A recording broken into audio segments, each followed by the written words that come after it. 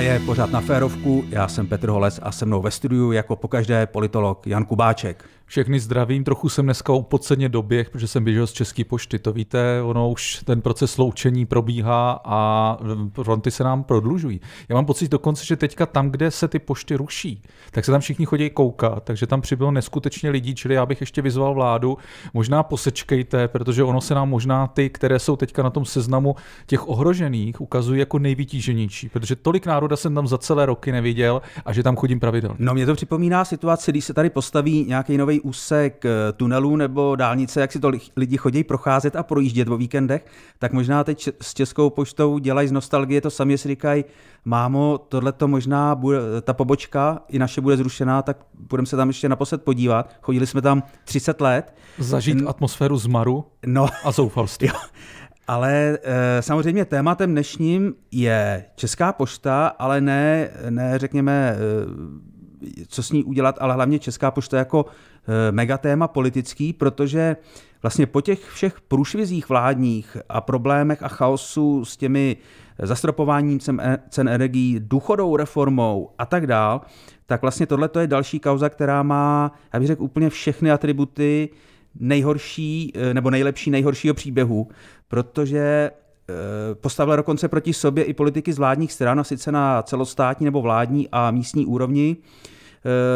Českou poštu s ní máme zkušenost všichni, ať už je nám 18 nebo 70. Já když jsem byl naposled eh, na České poště, a sice kvůli našim eh, přátelům z Rakouska, kteří mi eh, zase poslali pokutu, sotva, sotva jsem tam vyjel za vínem, tak, tak jsem si všiml, že tam jsou jak důchodci, kteří si tam přišli vybrat důchod, takže jsou tam i mladí lidé prostě to, a, a, a lidi ve středním věku, prostě to pořád nějakým způsobem a v nějakém rozsahu využívají všichni.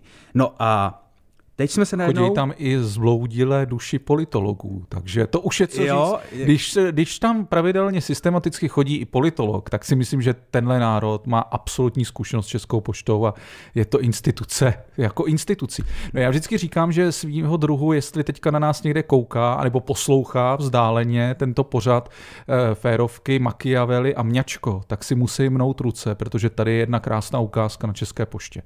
Nádherně se ukázalo, co dělá nezřízený řízená moc a opojení z moci, když máte dojem, že všechno už je na vaší straně, že už jste si to doťukli i vlastně s ústavním soudem, doťukli s prezidentem, že, vš, že i při nízkých procentech veřejné podpory čtete titulky, že vlastně jste populární. V minulém týdnu takovéhle titulky vycházely, byly to fasci- byla to fascinující čtení. No i Petr Fiala tak. Eh, tomu asi nemohl věřit, eh, jak je, jak je populární. Ne, já si myslím, že to, to někdy je to tak úžasně vyargumentovaný, že si myslím, že i Petr Fiala musí být jako v šoku, co se dokáže jako na jeho obhajobu najít, ale tady si myslím, že chtělo by se říct starým slovníkem soudruzi udělali chybu, protože jednak blbnou, blbnou z moci a zapomínají a ztrácejí lidské reflexy a to netvrdím, že z vlády chodí na, na poštu. Jo, to, možná bych doporučil teďka třeba posílat jako vládní platy na poštu, jednak uvidíme, jestli se páni ministři budou bát, když teďka vyvolali ten, eh, takový tu, tu nejistotu mezi seniory, to mě taky zaujalo po desetiletích, najednou začne někdo přemýšlet o tom,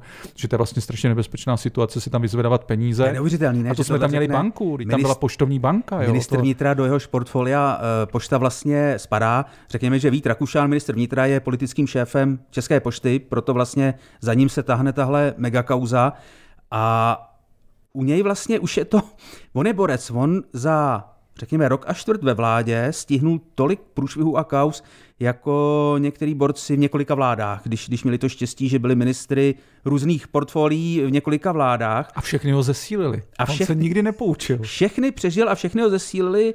No, eh, logicky, protože premiér Petr Fiala, eh, kde je vlastně premiér Petr Fiala? Eh, on se Čte ty vůbec... články. On buď čte... A nebo stojí ve frontě na Českou poštu, protože jsem ho dlouho neviděl. K České poště taky vlastně nic neříká, takže možná stojí frontu. Možná stojí frontu na poště, a aby rozeslal časopis Kontexty svůj. e, no, Mimochodem, on mě tady pobavil, jak, jak natočil to své velikonoční hlášení z Kramářovy vily a řekl, i ceny potravin zvládneme jako všechno. Já, jenom a řekl napadlo, to ministrovi Nekulovi? Mě jenom napadlo, že vlastně nic neděsí lidi tak, uh, jestli by to měli zvládnout jako to všechno. Uh, ale uh, Minister, minister vnitra Rakušan, to už je fenomén. A jemu všechno projde, protože Petr Fiala je slabý premiér a vlastně vůbec, vůbec se k tomu nevyjadřuje, ač je to Česká pošta mimochodem, je největší zaměstnavatel v Česku. A je to kruciální nejenže značka, ale i instituce. Jo. Právě to si myslím, že jak jsem vzpomínal, že soudruzi udělali někde chybu, že nejenže jakoby zapomněli, že to je jako klíčový téma a že to je opravdu celostátní téma a že najednou spousta měst začne zažívat to, co prožili možná optikou svých příbuzných nebo schalup uh, už dávno, dávno, dávno v nejmenších obcích, pak středně velkých obcích, pak spádových obcích, že prostě začali takhle kuchat stát a stát mizel.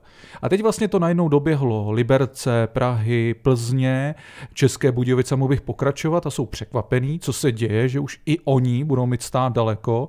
A druhá věc je, že si myslím, že soudruzi na vládě udělali chybu v jedné věci, že oni už si mysleli, že pro spoustu lidí je Česká pošta, jak vy jste vzpomínal, eh, že jste byl překvapen, že není stále chimerická, že tam chodí napříč všechny věkové skupiny s různými životními situacemi, tak si myslím, že spousta eh, pánů, úředníků a poradců a ministrů na vládě prostě, že došla k pocitu typu, kdy Česká pošta to už je něco eklha v 19. století, všichni se tomu smějou, pošta stejně nechodí a vlastně už to není emoční téma a vždycky, když na to přijde, tak to ještě uvádí chválíme tím, že řekneme je, že Česká pošta, kdy vám přišla balík, dopis, kdy jste viděli pošťáka a tak dál.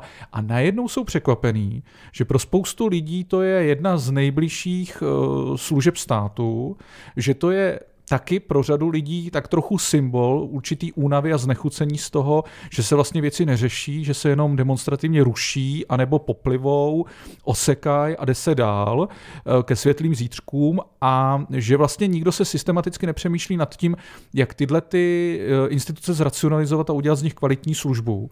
Ale prostě raději se smaž, smahem, smahem zruší. Plus si myslím, že pro spoustu lidí to je ještě takový pocit, že to je plíživá privatizace, že se taky může stát, stát, že za pár let nám vlastně řeknou, proč bychom vůbec tu prázdnou skořápku chtěli, že tam je ještě spousta dalších krásných lukrativních budov a že bychom to tak mohli tak nějak hezky po Česku zprivatizovat. No, ono totiž jde i o to, že Česká pošta, když ji budeme brát jako starou tradiční instituci, tak vlastně ale je digitální v tom, že tam je checkpoint a tam si vlastně můžete nechat udělat digitálně e, výpisy které potřebujete pro, pro různé věci, aniž byste obcházel ty instituce. Přesně.